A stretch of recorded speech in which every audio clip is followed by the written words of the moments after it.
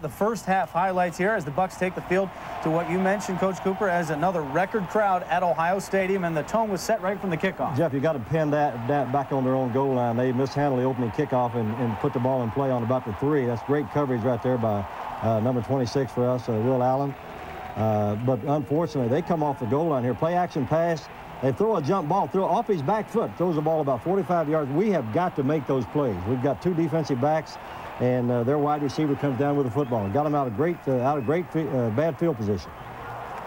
Nate Clements comes right back with a pass break up here. Good play by Nate Clements. We get the football, and, and sometimes I think this hurts you. It almost looks too easy early in the ball game. First uh, running play of the game for us. Off right tackle, great blocking. Derek Combs breaks the ball outside and picks up 40-some-odd uh, yards, 46 yards here for a big gainer for the Buckeyes. Now, we get a, a, a penalty on this drive which, uh, which stops the drive. We come right back here with uh, Jonathan Wells, number 28, who had an outstanding ball game for us, uh, and gained some yardage uh, off left tackle, but we, we, we, get a penalty.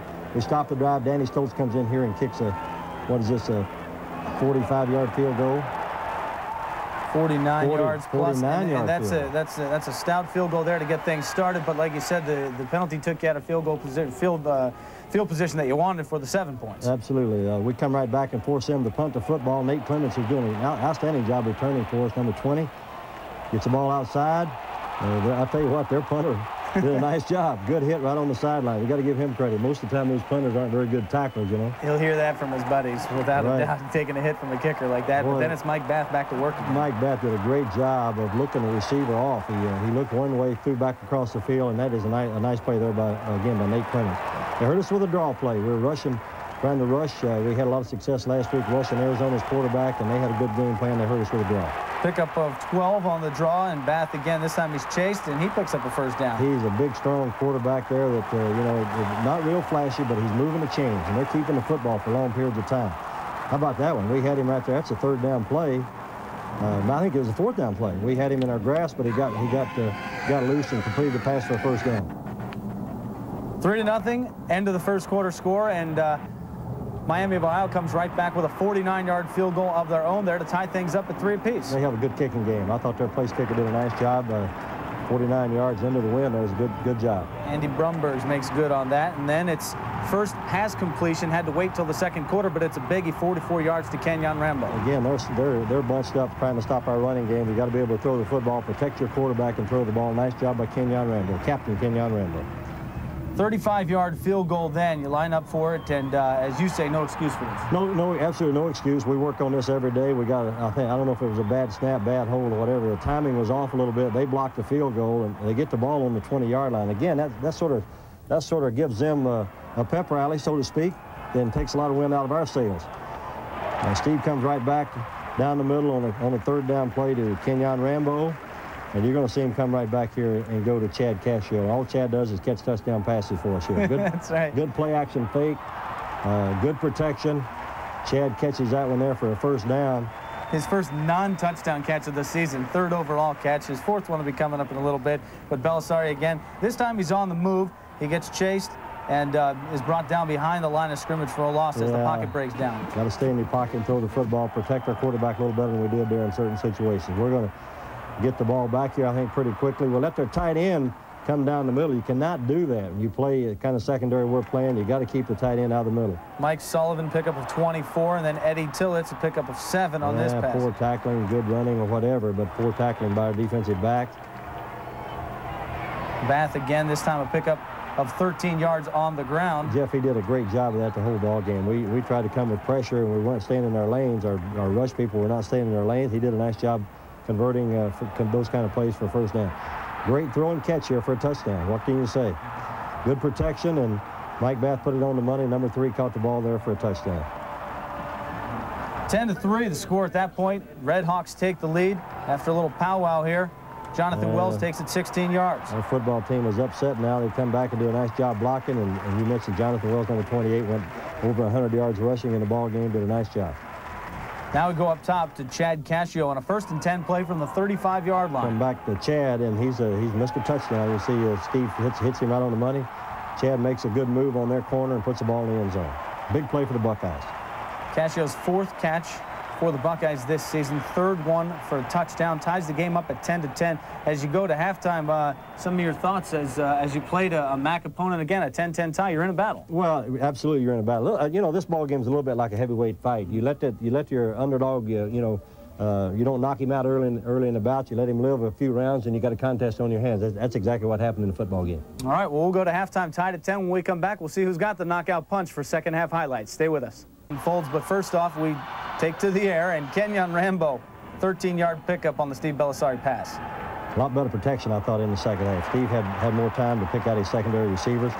Here's Darnell Sanders open in the flat and our tight end, number 89. We got to go to our tight end. We got to go to our backs a lot more, I think, than we did in this ball game. Uh, the drive stalls, and uh, Danny comes, Dan Stultz comes in, number 47, kicks another field goal. He's had a good year so far kicking the ball, but uh, you got to put him away right here. Now, this is a, Possibility of a big defensive play here. they call that intentional grounding, and uh, Miami maintained possession of the football. Brent Johnson wrapped We're him up there. uh, We're going to get yeah. the ball. We're going to get the ball right back. Our defense gets the ball for the offense. Here's an option play. Steve did a nice job. 24 yards, I believe, on the option play. Nice job running the football. Probably, probably need to run him a little more on options and stuff like that. Big pickup and his biggest positive gain of the day. Then Wells finds a big hole here. You Uh, like to have great, them all like that. Great blocking. Let's give the credit right there to our fullback, the offensive line and the fullback, though. We run the, what we call the isolation play, and our, our fullback right there, Jamar Martin, did a great job on the linebacker. You score on two consecutive drives, so it looks at 20 to 10 at this point. Things are coming into hand. Jeff, you, here's where you got to you got to take charge of the ball game, put them away. We got we've got a little momentum going. We got the crowd back in the game, and here's Jonathan Wells with a good in, off tackle play, cut back against the grain. But as you'd done before, uh, the knockout punch didn't come just yet, and uh, Mike Bath keeps him alive. Hurt ourselves, and here's Mike Bath running the ball, did a nice job on the what looked like an option.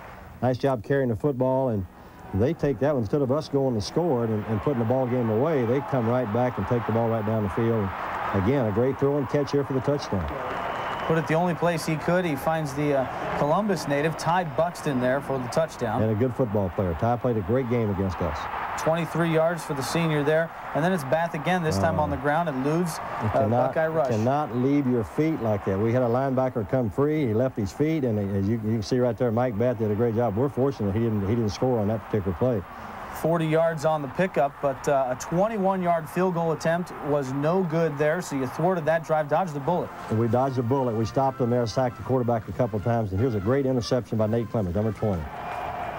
Uh, Nate is having a great year for us, one of the better cornerbacks we've had here at Ohio State. And his first of the year there. We come right back, uh, again, trying to move the ball on the ground.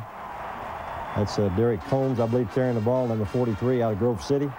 Eight hard yards picked up on that play. Sets up another field goal, this one from 21 yards for Dan We get, we get a break here. This is a, this would this would have put us up seven, and uh, they they roughly hold it, and absolutely no question about the call. And this is first and goal, so we're going to come back, and they're all bunched in inside. So we pitch the ball back to Jerry West. I mean to uh, Jonathan Wells, and Jonathan number 28 puts the ball in the end zone.